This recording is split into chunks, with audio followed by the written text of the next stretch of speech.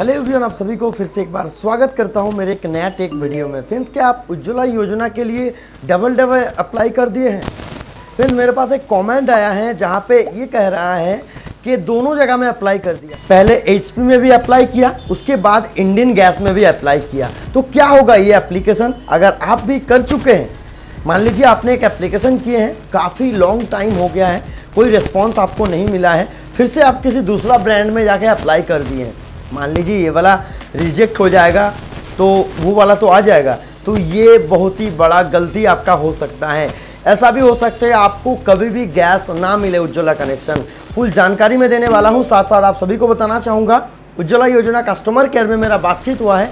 इसके बारे में कि अगर कोई कस्टमर अगर दोनों जगह में अप्लाई कर दे, किसी दूसरा ब्रांड में भी अप्लाई किया है, मान लीजिए एचपी में भी अप्लाई किया है, और फिर भारत गैस में भी अप्लाई कर दिया है तो क्या होगा वो एप्लीकेशन कौन सा एप्लीकेशन रिजेक्ट होगा? तो फुल डिस्कस करेंगे आज इस वीडियो के अंदर। अगर आपने इस तरह का कुछ किए हैं तो वीडियो को एंड तक देखिएगा।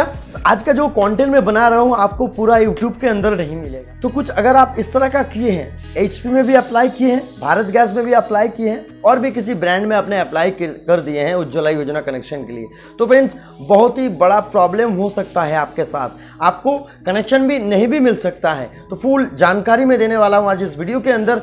साथ ही साथ जो बातचीत मेरा हुआ है उज्ज्वला डिपार्टमेंट में तो वो बातचीत मैं आप लोगों को सुनाऊँगा। तो फ्रेंड्स क्या बातचीत हुआ है? वो बातचीत पहले आप लाइव सुन लीजिए। एक दबाए भोजपुरी में सुने खाते दो दबाए। हेलो। हाँ जी बोलिए सर। बोल रहे कि सर उज्ज्वला योजना के बारे में जानकारी चाहिए सर सर थोड़ा। अप्लाई कर दिए हैं तो उसके लिए सर क्या प्रॉब्लम हो सकता है? अभी दोनों कनेक्शन ही मेरे पास कोई भी एक नहीं आया है। तो अभी क्या करेंगे सर? दोनों कहीं से भी कोई रिप्लाई नहीं आ रहा है। कनेक्शन एप्लीकेशन सक्सेसफुली हुआ है कि नहीं हुआ है? आ, इसी कारण नहीं आ रहा है सर क्योंकि आपने दो जगह एक साथ अप्लाई कर दिया है। तो सर अभी उपाय क्या है? अभी क्या करना होगा सर हमको? ये तो कैंसिल भी नहीं होता है। उज्ज्वला योजना का कैंसिल भी नहीं होता है। क्योंकि जिसके नाम से आपने बुकिंग कराया है जी। वो उन, उनको तो मिलेगी नहीं। अच्छा। क्योंकि तो उनका आधार कार्ड में बुकिंग का पहले से ही आ जाएगा दोनों जगह से। अच्छा अच्छा अच्छा। हाँ इसके कारण आप एक, एक एजेंसी वाले के पास जाइए और बोलिए कि मैंने गलती से मेरा ऐसा हो गया है जी। तो एक सेकंड करेगा वो। नहीं मिलेगा सर क्योंकि आपने दो जगह एक साथ कर दिया। ए, एक जगह जो रहता है ना वही क्योंकि एजेंसी ये जो योजना है वो केवल एक एक जगह के लिए एक ही महिला के लिए है ठीक है ना?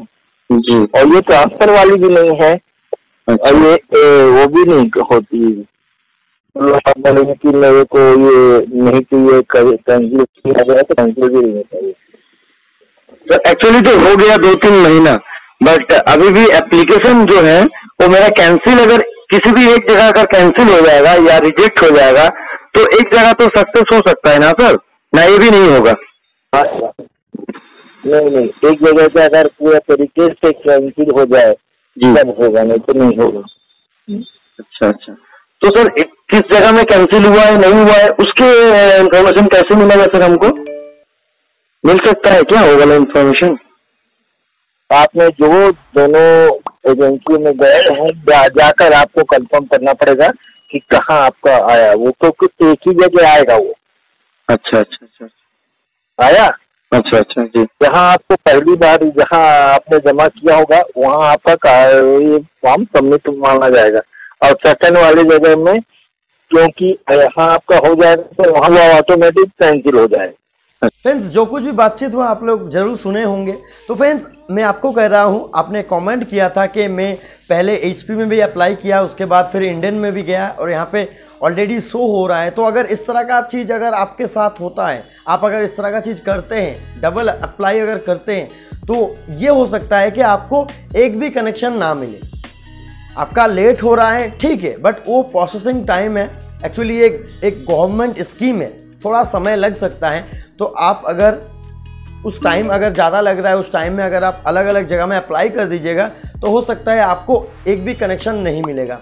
और ये बात जान लीजिएगा, अगर एक व्यक्ति का उज्ज्वला कनेक्शन अगर अप्लाई हो जाता है एक बार, उन मतलब ये महिलाएँ के लिए है तो उन महिला का जो एक बार फ़र्स्ट टाइम जो अप्लाई हो रहा है, आधार नंबर देके अप्लाई हो रहा है तो उसके बाद फिर नेक्स्ट दूसरे जगह में अप्लाई अगर करने जाएगा तो ऑलरेडी एग्जिट शो होगा ही।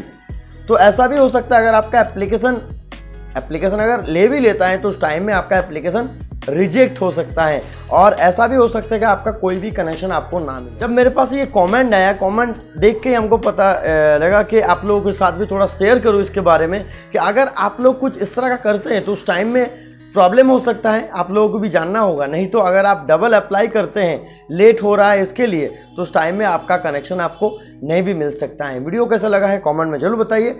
साथ साथ चैनल को सब्सक्राइब करिए, वीडियो को लाइक करिए और शेयर भी करिए। मिलते हैं किसी नेक्स्ट एक वीडियो में। Thank you for watching I am trading video